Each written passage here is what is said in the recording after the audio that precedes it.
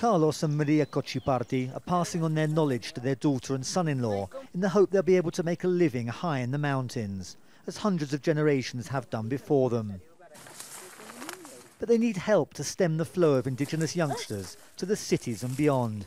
Help in supplying schools, hospitals, roads, drainage and water. Services promised that rarely arrive.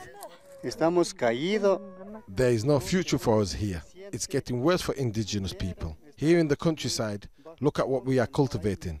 It's just dry herbs.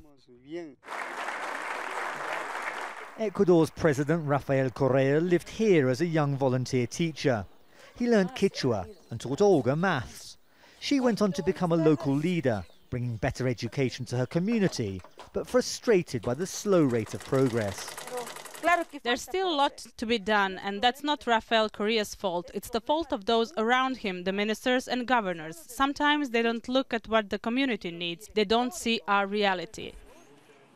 Most of Ecuador's indigenous community initially supported Rafael Correa, and many will likely vote on Sunday for his chosen successor, Lenin Moreno.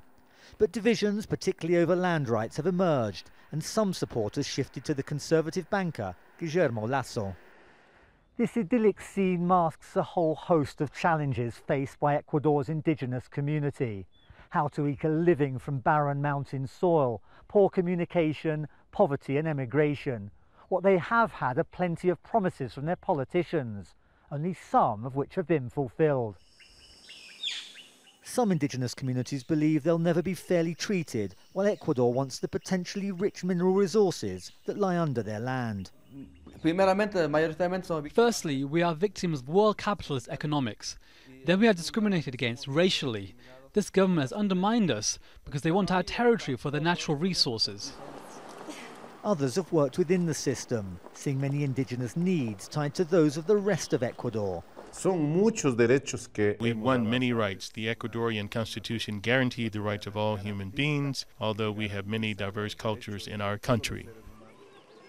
Whoever wins on Sunday may have to do more than simply learn their languages if they're to win the trust of future generations of Ecuador's indigenous community. Daniel Schweimler, Al Jazeera, Zumbahua, Ecuador.